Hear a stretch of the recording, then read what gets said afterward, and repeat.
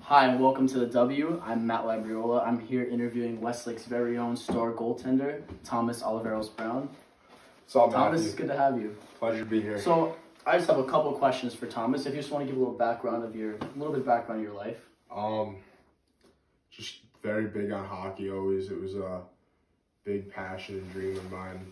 I always dreamt of, dreamed of playing college hockey. I'm still Mhm. trying to follow that path. I'm trying to end up playing college hockey. Awesome. So I guess I guess my first question for you would be, how does it feel being like, besides me, how does it feel being like one of Westlake's only hockey players? You know, I mean, I don't think a lot of people understand like what we have to do, especially playing at like High level, right? level, Yes, correct.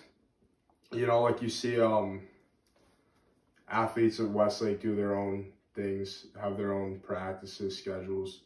But that's all in town. Like with me, like last year I was traveling an hour and twenty minutes just to Just for practice, right? practice, For work workout. out. Yeah. nothing compares to what we have to go through. So I guess my first real official question is, what is the USPHL, and how far can it take you? Yeah, so I think like you know yourself a lot about it, but um it's it's a very good league to play in at a young especially at a young age for development and it really they coaches for all the teams in the league really push you to your hardest and try to get you get you they base it mostly on like development. It's not so much There's like growth improvement. yeah, oh, you want to see your players develop rather than like Stay at the same level. Yeah, exactly. Everybody's trying to move on Second question, if you don't mind.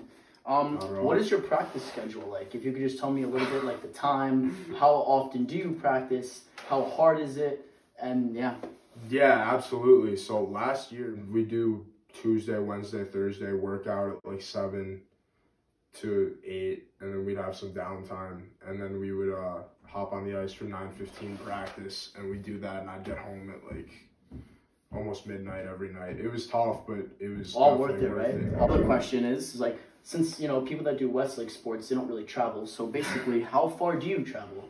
Um, so we were playing in the USPHL like yourself. You also played in that league for the Hitmen, but we uh we play teams. We one of the teams in our league last year played in Virginia in Potomac, and we we'd go. That was like a six hour bus trip there. Uh, we also went to Chicago. Can't forget about Chicago. yes, my team in Chicago last year. Um, the CCM World Invite, very big tournament. Um, also, my team, I don't play for them anymore, but this year they were supposed to go to Calgary, Alberta. Canada. Yes.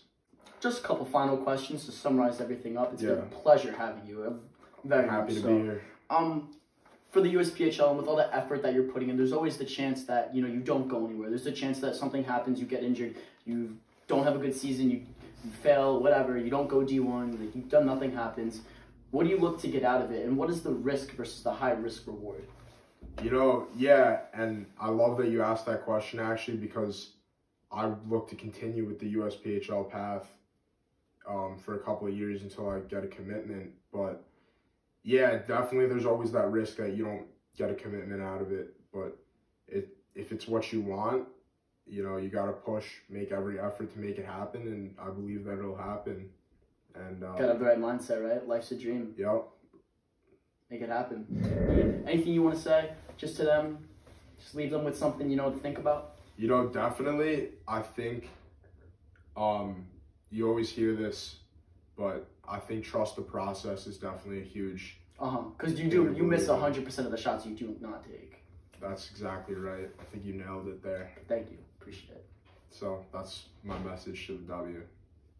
Well, ladies and gentlemen, this has been Thomas Brown. I've been Matt Labriola. I want to thank you so much for taking the time Thank out of you your busy schedule and coming for this interview. We've learned a lot about you and we learned a lot about hockey. And I guess we'll be signing off. Say goodbye. Peace out. And we'll see you in the next one.